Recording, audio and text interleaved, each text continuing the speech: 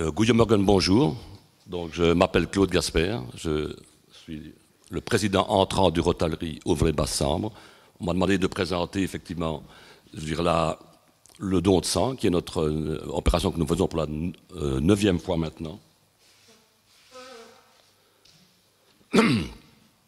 Donc chez nous, on emploie le terme don de sang dans de soi, parce qu'effectivement, c'est quelque chose de très facile à faire.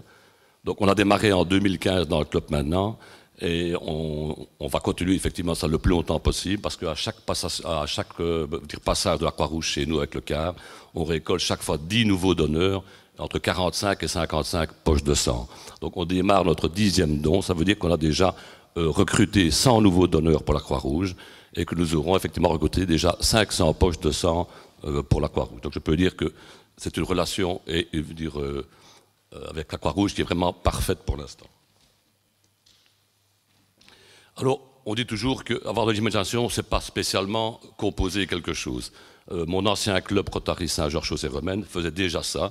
Donc on a simplement fait une chose simple, on a copié, euh, comme les Chinois font beaucoup, on a copié et on a transformé une simple réunion, des fois un peu longue, par une réunion vraiment extraordinaire. Parce qu'on peut dire que pour ceux qui le vivent à chaque don, c'est une réunion vraiment extraordinaire. Alors ça demande un peu d'investissement personnel la première fois surtout, puisqu'il faut rentrer en contact avec la Croix-Rouge, il faut organiser le planning pour tout ce qui est car, etc. Il faut convaincre les membres de s'investir pour le don, parce que c'est un nouveau projet, et le Rotary Ouvre les Bassambre a été très très ouvert tout de suite à l'accepter. Euh, prendre les contacts avec les services de la Croix-Rouge, bien entendu. On avait l'opportunité effectivement de prendre simplement une salle ou de prendre le camion de la Croix-Rouge. Bah, le camion est beaucoup plus sympathique parce que est, on est beaucoup plus proche des, donneurs et on sait effectivement parler avec les gens. Une petite, commission de sang qui n'est pas vraiment dire, euh, très très longue à mettre en place. Il faut trois ou quatre personnes, c'est largement suffisant. Et effectivement, il faut un chef de projet, parce que dans chaque organisation, il faut un chef de projet, quelqu'un qui dire, euh, suit l'opération vraiment jusqu'au bout. Les inscriptions, ben, euh, effectivement, euh, on a demandé effectivement à chaque membre aussi de s'investir au niveau des inscriptions. Parce que vous savez que maintenant, pour donner son sang, il n'y a plus de date limite. Donc toutes les personnes qui ont donné avant 65 ans peuvent donner jusqu'à la mort. Donc aux futurs donneurs, c'est peut-être le moment d'y passer. Donc il faut bien entendu veiller au bon déroulement, puisque dans chaque don, il faut deux médecins, il faut des infirmières, il faut une organisation, il faut, il faut une place pour mettre le camion. Donc c'est un peu d'organisation. On a demandé aussi aux membres de recruter, puisque les gens qui donnent leur sang souvent n'osent pas venir la première fois, mais si on vient avec un ami, on donne plus volontiers, effectivement. Donc chaque membre, je veux dire, a dire, investi pour essayer de trouver deux à trois membres chaque fois quand même.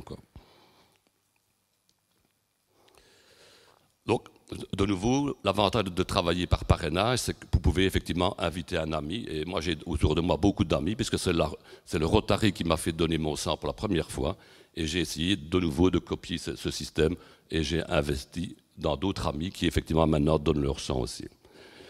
La présence des Rotariens lors de l'événement, on a essayé à ouvrir que ça soit une ambiance vraiment sympathique, puisqu'on reçoit les gens avec euh, de la nourriture, des boissons, ils sont très accueillis, avec des gens très très sympathiques qui les accueillent, puisqu'il y a un stress notamment pour les nouveaux donneurs, hein, puisqu'il faut quand même admettre quand on n'a jamais donné, les gens ont tous peur de la piqûre, c'est un peu partout pareil.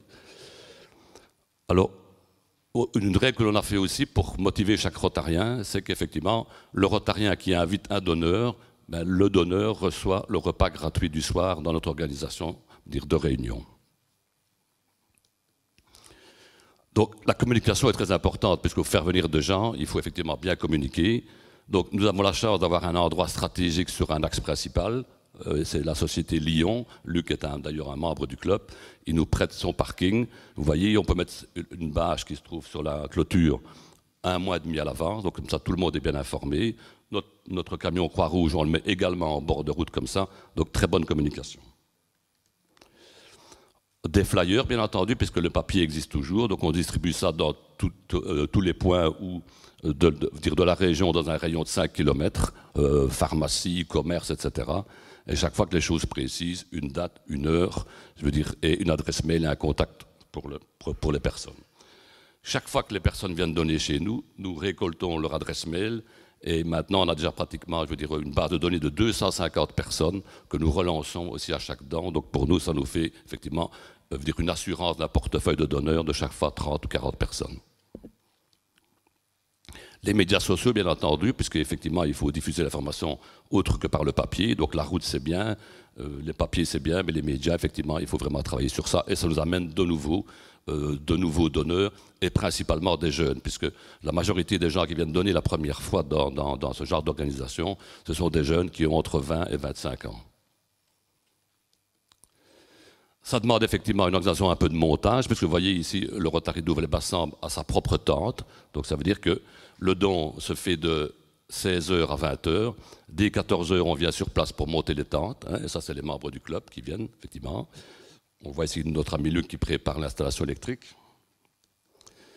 La préparation du camion, donc effectivement, vous voyez le, camion de la Croix-Rouge. Généralement, chaque organisation provinciale a à peu près deux camions à prêter. Il faut bien entendu planifier ça pratiquement deux ans à l'avance, puisqu'on ne peut pas demander le camion comme ça subitement pour l'avoir.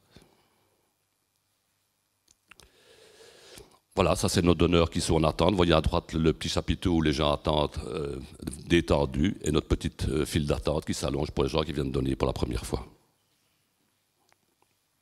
Voilà, ils ont l'air très détendus et ça c'est le fait d'être passé d'abord dans le groupe. Parce que généralement, quand les gens vont donner du sang pour la première fois, ils n'ont pas cette couleur-là, ils sont plutôt plus blancs. Ça, quand même. Ici, on voit quand même qu'ils ont une bonne couleur. Donc, c'est qu'on les a rassurés avant de passer. Voilà, ça, c'est les donneurs en action. Vous voyez, c'est un, un, petit endroit très sympathique. Les gens sont les uns à côté des autres, tout le monde parle ensemble. Donc ça, permet effectivement d'avoir une ambiance chaude à l'intérieur même du quart d'honneur. 50% d'hommes, donc le don de sang est déjà mixte, c'est 50% d'hommes, 50% de femmes, pas comme certains clubs, je le sais, c'est pour ça que je me permets de le dire. Toujours une belle ambiance. À bord, effectivement, vous voyez, les petites tentes sont montées. Sur les, les 9 dons qu'on a déjà fait, huit fois, la météo est avec nous et il fait entre 20 et 25 degrés. Donc on peut dire qu'on a beaucoup de chance pour réussir. Euh, effectivement, tout se passe toujours à l'intérieur. Vous voyez que c'est très cool quand même. Voilà. L'ambiance toujours sympathique, c'est très important, c'est ce qui fait finalement revenir les gens, parce que les gens avaient aussi une autre vision en un du Rotary et une autre vision également dire du don de sang. Le repas, donc après on fait un repas, c'est important aussi. Et là, les idées, bon, on a un petit peu laissé tomber le, sandwich habituel. Et ce que l'on fait ici, par exemple, ça c'est un food truck avec du, avec du, taille. Bon, je dirais là, là, de nouveau, ça attire les Rotariens parce qu'ils peuvent venir faire les amis, euh, dire pour donner leur sang. En même temps, on leur offre un petit taille sympathique, ça se fait sur place. Autre idée de repas, on a acheté une plancha au gaz au Rotary de Passant parce qu'on fait maintenant nos grillades aussi pour recevoir les gens. Donc on termine. Donc euh, je veux dire, tout le monde dans le Rotary ou les Bassins, dans l'opération don de sang, et ça c'est très important à signaler, c'est que dans ce type d'opération, tout le monde peut faire quelque chose. Donc on peut soit trouver des donneurs, on peut soit diffuser l'information, on peut soit monter les tentes, soit démonter les tentes, soit trouver, euh, dire, donner euh, dire soi-même, soit faire la cuisine. Donc il y a plein de possibilités qui existent effectivement. C'est une opération à 100%. À table, bien entendu, après, puisque vous voyez que on a même des petits chauffages parce que les nuits sont fraîches en avril et en octobre. Donc on termine effectivement par chauffer un petit peu local quand même. 22h15, départ du camion, démontage. Donc tous les membres démontent, on rassemble tout. Et généralement, donc de 14h à 22h30, l'opération est terminée. Donc on peut dire que c'est une opération elle est vraiment intensive pendant certaines heures, mais grande efficacité. On a eu pour ça, je remercie d'ailleurs euh, un bel article dans le Rotary Contact, c'est un projet humanitaire important et la Croix-Rouge l'a beaucoup signalé. Donc ils ont dit pourquoi est-ce que d'autres ne le font pas Effectivement, parce que ça semble tellement simple. Parce que je peux vous, je peux vous assurer que c'est simple. Donc une fois qu'une personne s'en occupe et qu'on a monté le dossier une fois, c'est simplement des contacts, avoir une bonne organisation et surtout, je veux dire, avoir la volonté de faire quelque chose de particulier et de donner une image surtout du Rotary, parce que vous le savez certainement tous, que le Rotary a quelquefois une image un peu trop souvent bourgeoise et pas assez détendue. Et par le don de ça, effectivement, on est en contact avec tous les gens. Donc tous les Rotariens sont dire, euh, dans, dans, le petit chapiteau, parlent avec tout le monde, ça met une ambiance formidable quand même. Je tiens à vous remercier en tout cas pour euh, m'avoir permis d'expliquer ce qu'on fait et j'espère qu'on va le faire encore de nombreuses années puisque j'ai 66 ans, on peut donner jusqu'à euh, la fin de ma vie, donc j'espère donner encore au moins 34 ans, effectivement, à peu près. Ça va, merci à vous. Attends, attends, attends.